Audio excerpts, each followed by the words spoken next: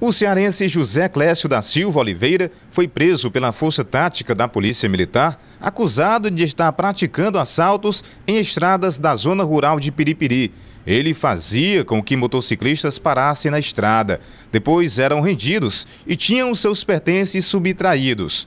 Antes de ser preso, era temido por quem trafegava na zona rural. Cada caso de assalto ocorrido se espalhava nas rodas de conversas nas comunidades. A gente vive de Piripiri, aí ele parou a gente por volta das quatro e meia. A gente parou porque pensava que era alguma informação, né?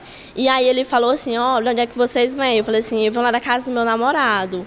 Olha, por não reage não, que isso aqui é um assalto. E aí foi perguntar, cadê o celular, cadê a bolsa, cadê o celular, cadê o dinheiro? Aí ele abriu minha bolsa e viu o tablet. Aí pegou o tablet, mexeu na minha carteira, tirou 20 reais que tinha dentro da minha carteira.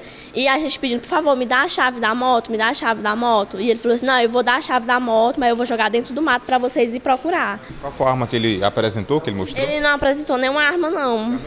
É, só apenas ameaçou, que a gente não podia reagir, né? Então é ele mesmo, você olhando para ele neste momento. É ele. mesmo, até a voz, a voz.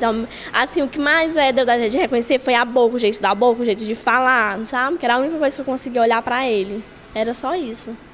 José Clécio inicialmente se esquivava das perguntas, dizia que só iria falar com a presença de seu advogado, mas depois começou a declarar que era inocente. Declarar não, só na presença do juiz e do meu pass... advogado. Tenho nada. Você tem alguma passagem? Tem aqui? Eu não, senhor, nenhuma passagem. Tenho nada E essas acusações sobre o senhor? É tudo falso, senhor. Não tem prova, não tem nada. Você está sendo perseguido, o que é? Não tenho prova, não tenho nada, senhor. É tudo falso, não tem testemunho, não tem nada. Não tem prova, não tem nada. Cadê o roubo? Cadê o furto? Não tem nada, não. Você tem, não tem nenhuma passagem, nenhum envolvimento? Não tá tenho, não, senhor. Não tenho nenhum envolvimento. Não tenho nenhum envolvimento. Cabo Domingos, ele conta uma história, mas a polícia tem outra versão. Qual é? Esse elemento aqui, há muito tempo, ele faz assalto ali na região do Piqui e Canto da Vaza, né? E agora há pouco ele foi surpreendido lá pela população, tá entendendo? Que já não aguentava mais os assaltos que ele fazia lá. Ele nega a, a autoria dele, mas ele tem passagem já por roubo, assalto à mão armada. Esse rapaz aqui já tem passagem por assalto à mão armada. E agora nós estamos caminhando aqui para o distrito aqui para ele retornar novamente para a penitenciária.